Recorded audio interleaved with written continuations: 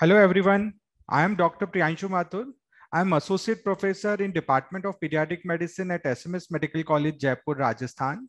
Today, I'm going to tell you about importance of pH 5.5 right from the baby's first bath. So when the baby is born, the skin pH is approximately 7, unlike adult healthy skin, which has a pH of 5.5. Moreover, baby's skin is 20% thinner and very delicate, hence needs a specialized care. Using baby care products with pH 5.5 benefits supports the development of the protective barrier of the skin that keeps skin hydrated and free from the rashes. Using alkaline baby skin and hair care products with the pH more than 7 can damage the protective barrier leading to skin dryness and roughness and might lead to increase in the skin infection.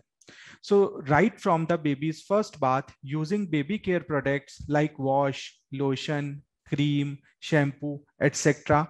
having pH of 5.5, the same pH as that of the healthy skin and hair is beneficial for your baby. It supports development of the skin, skin a natural protective barrier and helps to keep it hydrated and rash free.